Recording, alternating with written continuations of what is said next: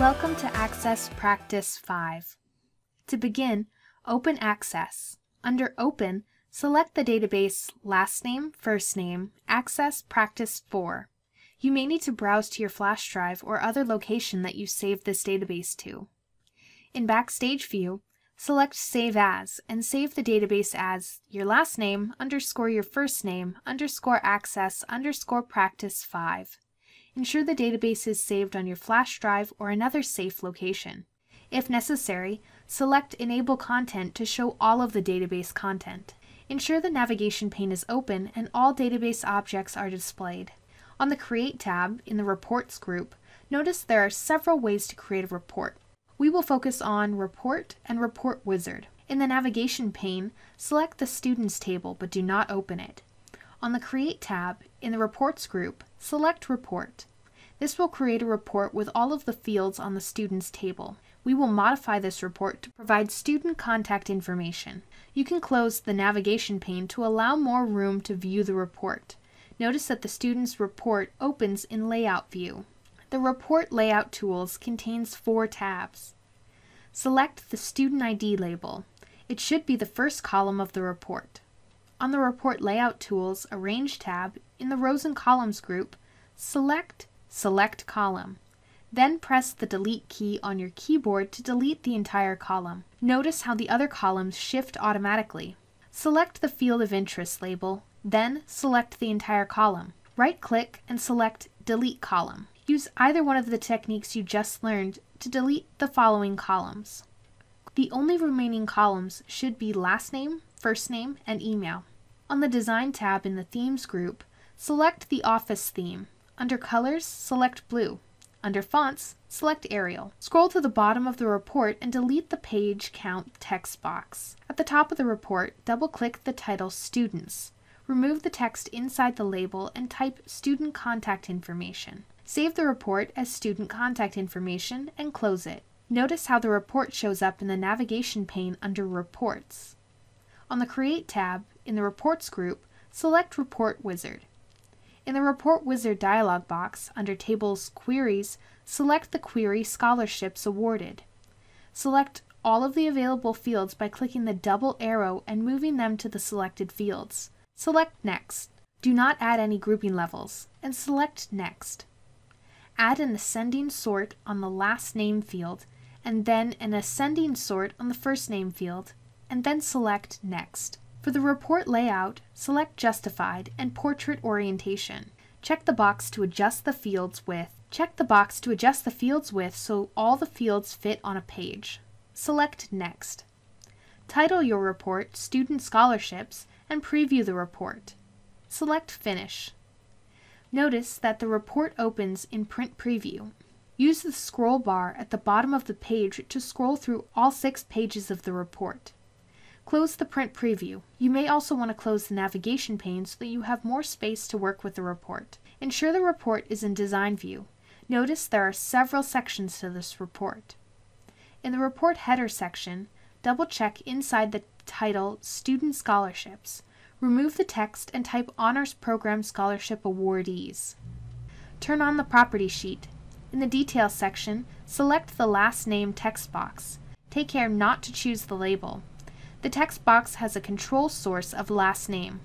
With the last name text box selected, on the Format tab of the property sheet, change the height to 0.4 inches and press Enter. Select the first name text box. Take care not to choose the label. The text box has a control source of first name. With the last name text box selected, on the Format tab of the property sheet, change the height to 0.4 inches and press Enter.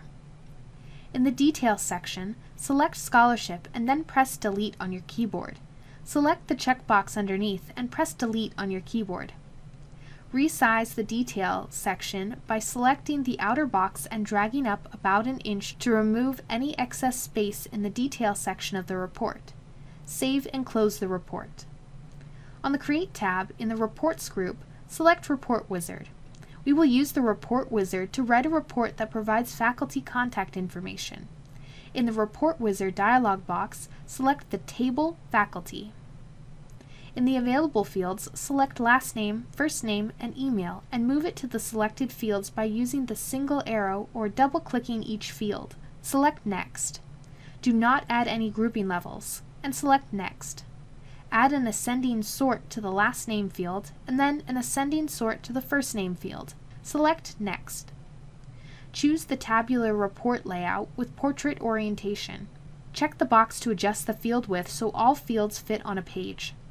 Title the report Faculty Contact Information and preview the report. Select Finished. Take a moment to view the report in Print Preview and scroll through both pages of the report. Close the Print Preview. Open the Faculty Contact Information report in Design View. In the report header, change the title label to Honors Faculty email addresses and manually center the title across the report page.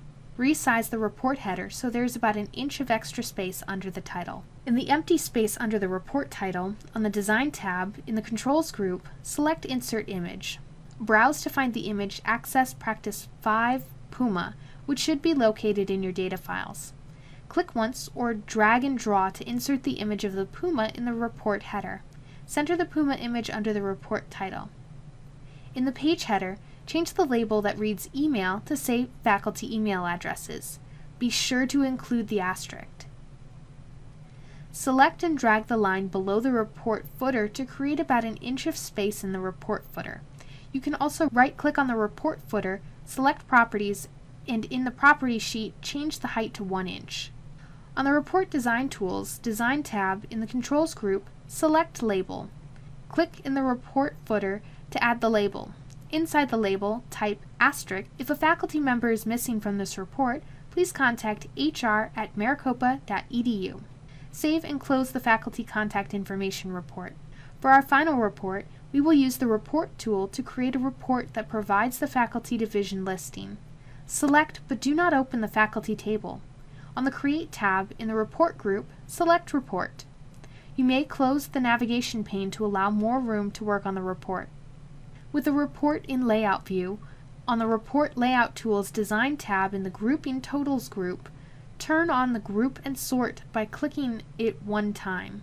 The Group, Sort, and Total dialog box will display at the bottom of the page. In the Group, Sort, and Total section, select Add a Group. In the Select a Field box, select Division. Notice how the report now groups faculty based on the division they work in. Click More and select the option to keep whole group together on one page. Close the Group Sort and Total pane by clicking the X to close Grouping dialog box. Take care not to remove the group that was just added. Select the Faculty ID label. Right-click and select Delete Column. Use the same process to delete the Email column. Select the title of the report which reads Faculty. Change the report title to Faculty Division Listing change the report view to design view. In the report header, select and delete the auto logo which looks like an image of a book. Right-click on the report header and select Fill Back Color. Use a light gray color from the first column. Ensure you can still see the text after the fill color is applied. In the page header, select the division label. On the Report Design Tools Format tab in the font group, select the arrow next to background color. Under Theme Colors, select White, Background 1, Darker 15%. Apply the same color background to the division text box in the division header. In the page footer, delete the page number count by selecting it and then pressing Delete on your keyboard. In the report footer, add a label control and then type please email hr at maricopa.edu with any changes to this report. Resize the label control if necessary to ensure all of the words display. In the Layout view, select the division label. Right-click and select the entire column. Select the right outer edge of the column and drag it to the left until the column is about 2.5 inches wide. Another option is to turn in the Property Sheet, Format tab, and verify the width is 2.5 inches. Change the view of the report to Print Preview. In the lower right-hand corner, use the Zoom scroll bar to zoom in and out of the report. Then, use the page arrows to view all pages of the report. Ensure extra blank pages will not be printed and make any modifications to your report as necessary. Save the report as Faculty Division Listing and close all open database objects. Ensure all database objects are closed and the navigation pane is open and displays all access objects. Take a moment to verify you have the following database objects in your database. To exit out of the database, first close any database objects that are still open. Select the File tab and take note of where your database is saved. Then select Close. Then exit out of Access. Submit your entire database for grading per your instructor's instructions. I hope this video has helped you to complete this project. If you have any questions, please don't hesitate to reach out to your instructor. They're here to help.